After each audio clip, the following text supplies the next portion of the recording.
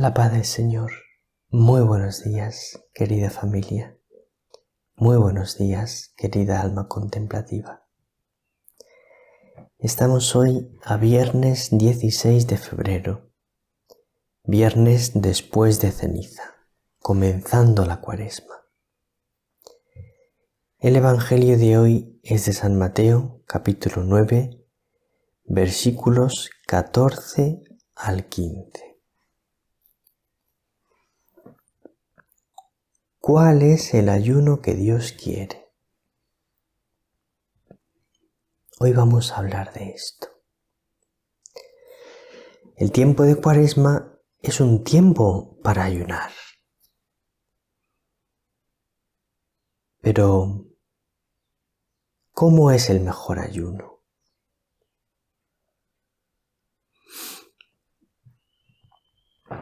Vamos a explicarlo. Empezamos escuchando con mucha atención las palabras del Santo Evangelio. En aquel tiempo, los discípulos de Juan se le acercan a Jesús preguntándole, ¿por qué nosotros y los fariseos ayunamos a menudo y en cambio tus discípulos no ayunan? Jesús les dijo, ¿es que pueden guardar luto los amigos del esposo mientras el esposo está con ellos? Llegarán días en que les arrebatarán al esposo y entonces ayunarán.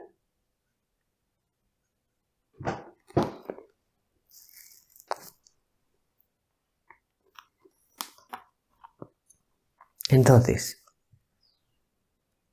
bueno, antes de empezar la explicación del Evangelio, quiero animaros y deciros que os suscribáis a nuestro nuevo canal, María con nosotros Predicaciones. En la descripción de este vídeo tienes el enlace para suscribirte al canal, porque poco a poco los vídeos de predicaciones, como el Evangelio de cada día, los vamos a dejar de poner en María con nosotros y los vamos a poner en el nuevo canal María con nosotros Predicaciones.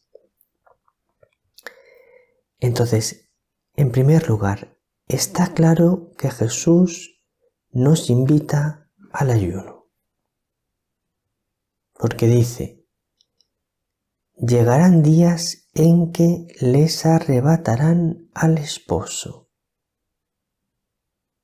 y entonces ayunarán.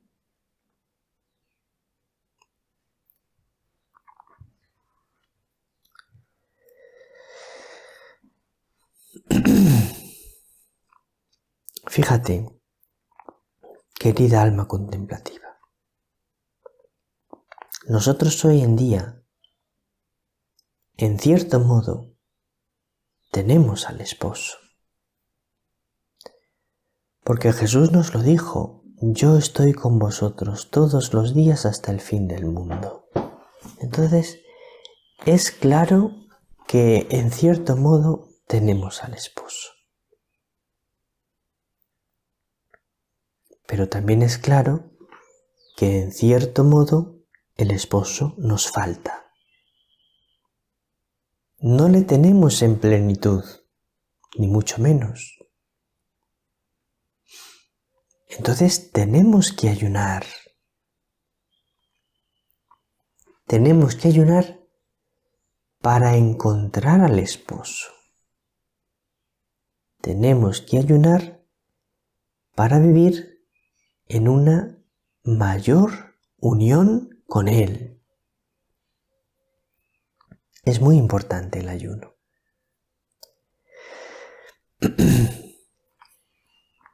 En la página web mariaconnosotros.org os he dejado un montón de textos interesantísimos sobre el ayuno. Os animo a que los leáis.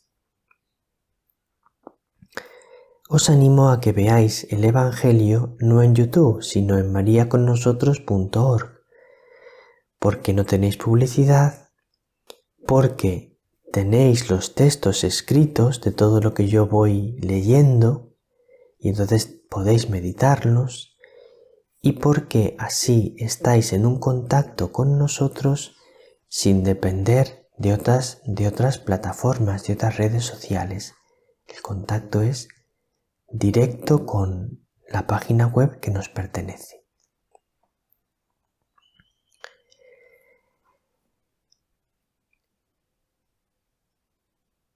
Quiero empezar leyéndote uno de los textos que te he puesto ahí en nuestra página web, que es del Código de Derecho Canónico. Es el número 1251 del Código de Derecho Canónico. Dice así, todos los viernes, a no ser que coincidan con una solemnidad, debe guardarse la abstinencia de carne o de otro alimento que haya determinado la conferencia episcopal. Es decir, la Iglesia nos manda abstenernos de carne todos los viernes, todos los viernes del año. Esto es una costumbre que está muy olvidada y no tenemos que olvidarla. En algunos lugares la conferencia episcopal, los viernes que no son de cuaresma, permite cambiar la abstinencia de carne por algún otro sacrificio u obra de caridad. Pero en principio debemos abstenernos de carne todos los viernes. Y luego, ayuno y abstinencia se guardarán el miércoles de ceniza y el viernes santo. Esos son los días que nos manda la iglesia ayunar.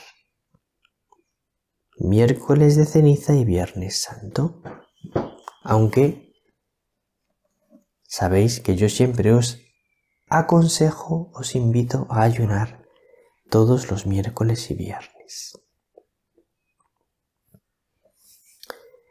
Bueno, en la página web tenéis muchos textos que os he puesto sobre el ayuno. También sabéis que hice un vídeo dedicado específicamente al ayuno si queréis profundizar en el sentido y en la importancia del ayuno, podéis ver ese vídeo, lo podéis buscar. Se titula, a ver, a ver si encuentro el título, que no me acuerdo ahora cómo se titula. Se titula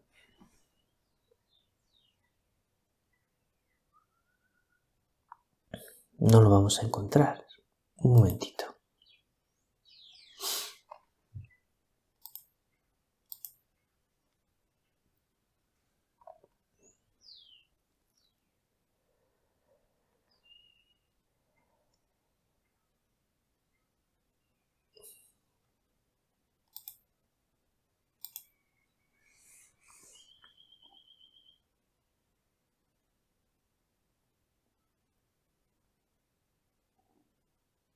Ya está aquí. Perdonad el retraso. El título del vídeo es El ayuno, cómo ayunar, por qué ayunar.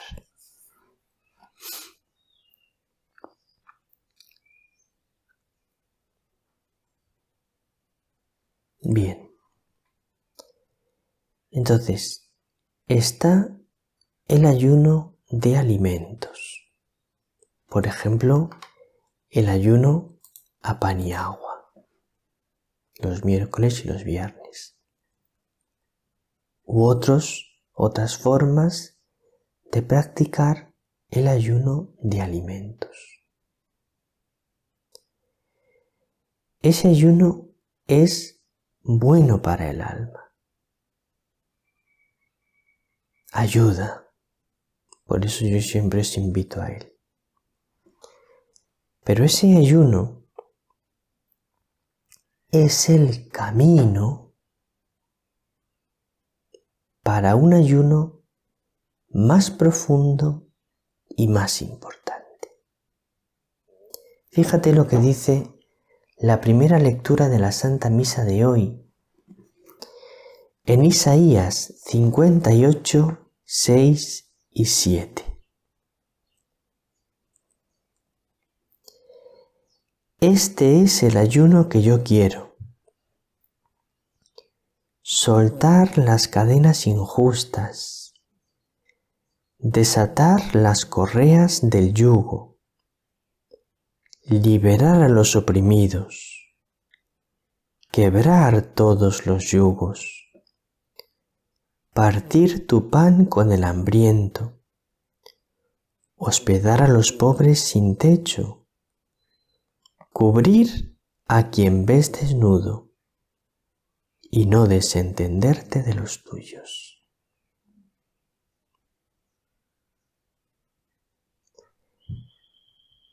Este pasaje bíblico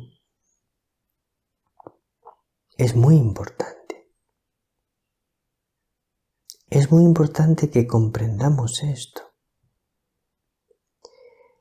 El ayuno de alimentos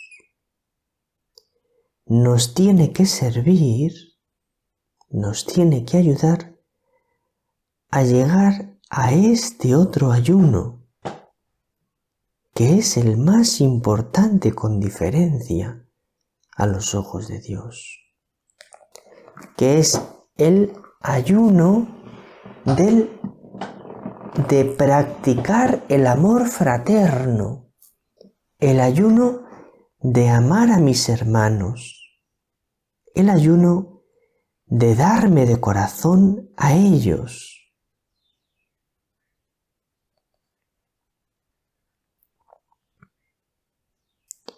Este es el ayuno que yo quiero.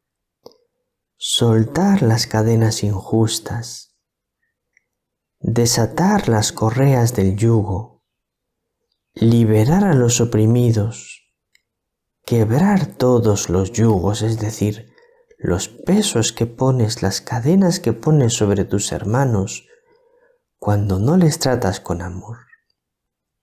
Partir tu pan con el hambriento. Hospedar a los pobres sin techo. Cubrir a quien ves desnudo y no desentenderte de los tuyos. ¿Veis? Importantísimo. dice el prefacio cuarto de Cuaresma, que es el prefacio que habla sobre el ayuno. Y dice lo siguiente, tú que por el ayuno corporal refrenas nuestras pasiones, elevas nuestro espíritu, nos das fuerza y recompensa por Cristo Señor nuestro. El ayuno corporal no nos tiene que hacer más soberbios. Es que yo ayuno y otros no. Es que yo ayuno más que otros. Yo soy mejor cristiano. No. Entonces el ayuno, si te sirviese para eso, te haría daño sino que el ayuno corporal tiene que refrenar nuestras pasiones y elevar nuestro espíritu. Este es el sentido del ayuno. Refrenar nuestras pasiones y unir nuestra alma más a Dios. Y luego la oración colecta de la Santa Misa de hoy dice, Te pedimos, Señor, continuar las obras de penitencia que hemos comenzado con tu benevolencia. En el tiempo de Cuaresma hemos empezado a practicar más obras de penitencia pues le pedimos al Señor la gracia de perseverar en ellas. los propósitos que te has puesto para esta cuaresma, que perseveres en ellos, que no te canses, no te desanimes, no los abandones. Continuar las obras de penitencia que hemos comenzado con tu benevolencia, para que la práctica que observamos externamente vaya acompañada de la sinceridad de corazón. Esta es la clave. La práctica que observamos externamente, más oración, más ayuno, más limosna, que esa práctica vaya acompañada de la sinceridad del corazón.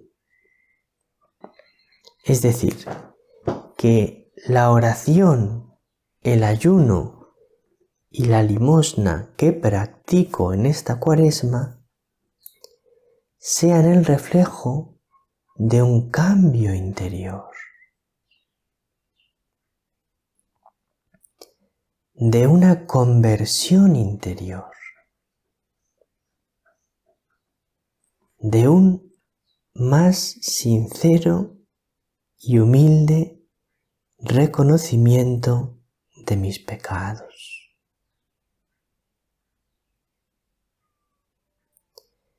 De un más sincero y humilde deseo de cambiar. de un sincero y humilde deseo de amar más al Señor, de un sincero y humilde deseo de amar más a mis hermanos. Que la práctica exterior vaya acompañada de la sinceridad del corazón. Señor, ayúdame. Quiero convertirme. Quiero ser mejor. Quiero vivir la santidad. Ayúdame, Señor. Esto es todo por hoy, querida alma contemplativa. Ánimo con esta cuaresma que es un tiempo de gracia. El Señor te bendiga, María te bendiga.